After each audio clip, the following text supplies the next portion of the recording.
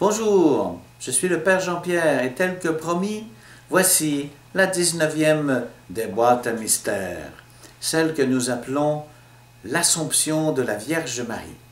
Dans les mystères glorieux, nous contemplons Marie assumée, corps et âme. Alors, qu'est-ce que ça veut dire?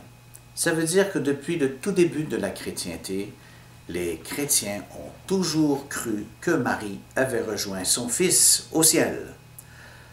Euh, les orientaux parlent de la dormition. Ils ne vont pas dire que Marie est morte, mais qu'elle s'est endormie. L'Église, euh, en 1950, a déclaré le dogme de l'Assomption, c'est-à-dire qu'elle se trouve corps et âme en Dieu, le Père, le Fils et l'Esprit Saint, qu'elle les a rejoints avec tous les saints. C'est en prolongement ou une logique que puisque Jésus, qui est ressuscité des morts, n'a pas voulu abandonner sa mère et la laisser ici, puisque le Christ ne meurt plus et a demandé à Marie de venir avec lui, elle peut donc intercéder pour nous.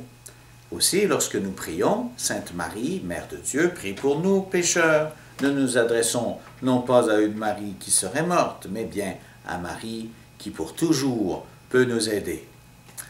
Que le Seigneur vous bénisse tous.